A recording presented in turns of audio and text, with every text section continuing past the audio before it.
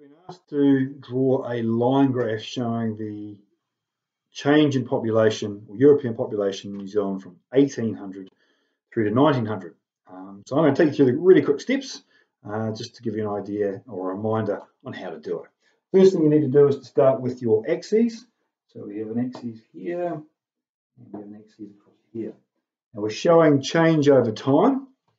So we need to look at first of all when the times are. The first one we have is in 1800, the last one's in 1900. So quite simply what I'm going to do, I'm going to start 1800 over here, and then I'm going to go to 1900 over here. Now I know that's 100 years, so I know that in between the two, that there is 1850. Then I just need to break it down nice and evenly into four points through here. So I have 1810 through 1840 and 1850. So we'll say yeah, there.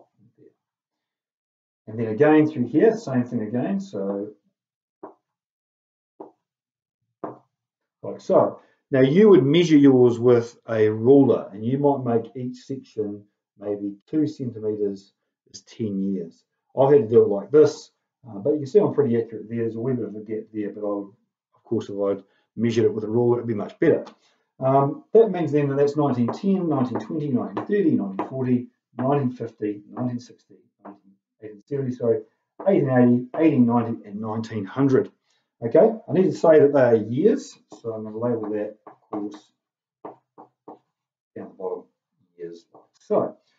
The next thing I need to look at is what goes up the side. Now, I've got my time down the bottom, which is years, as always, and I would have labelled these as well, which you guys will no doubt have done too to make things easier for you. Up the side, though, I need to show what I actually want to graph, and in this case, it's the population, or the European population in New Zealand. So what I need to look at is what is the highest mark I've got? And the highest mark I've got is 780,000, and that occurred in 1900. So to make things easier, I'm just going to round that up to 800,000.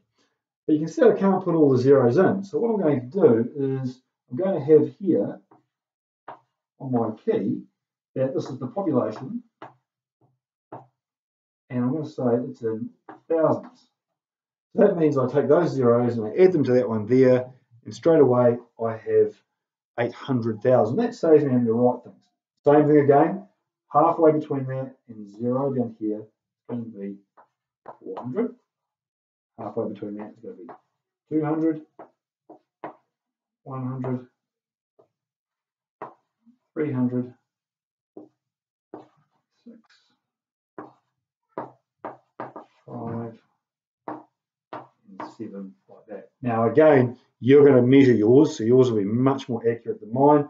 You might make each line or every two lines equal 100,000 people. I'm going to rub that out a bit because it gets a bit messy through there.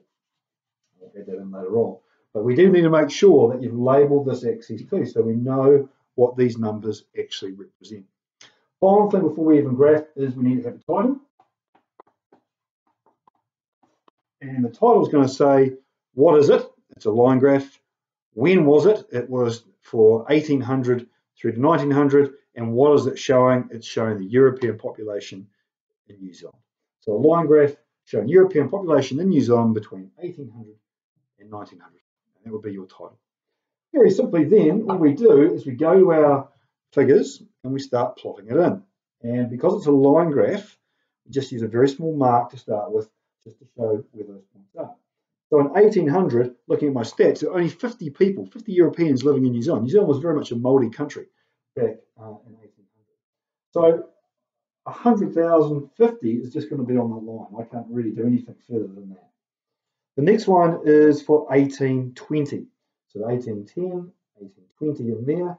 And the figure there is 400. Now again, that is pretty much not even going to register on my scale because 100,000, 400 out of 100,000 is very, very small. But things are going to change as we get closer to some big dates. The next one is 1840. So 1820, 1830, 1840 in here. 1840, the Treaty of Waitangi was signed, and we start to see things change. Now, again, it's only 5,000, but I'm just going to show that we start to see an increase. And you see there, the first two are pretty much on the line. That one's just above it, just showing that we're starting to increase. The next one is 1860. So 1850, 1860, and all of a sudden we're now up to 100,000 people. Now if we go there, that now registers on our graph. The next one is 1870. Now you need to look at whereabouts 1870 would be, 1880, and then 1900. Now 1900 is right up here. So there's a lot of stuff that's happening in through here, which you're going to have to graph along the way. You guys can add in that stuff, but what you do then is you add it in with a nice, okay, and there we go, a line graph. And we can see straight away that the population of New Zealand in the first part of the 1800s was very, very slow, very, very slow European growth in population. And then from about 1840, things started to change and things started to pick up. And obviously something's going on here. The second part of your task is then to actually add in some details about what was going on in New Zealand history. And I've given you four key dates. I'm going to show you what I mean by that. So the first one is 1814, and that's when the first missionaries arrived in New Zealand. So the missionaries arrived 1814 through here. I know that 1810 is there, and 1820 is there, and 1814 is probably going to be in the middle there. So I'm going to power up like that. To go 1814, and I'm going to write down first missionaries in New Zealand on there.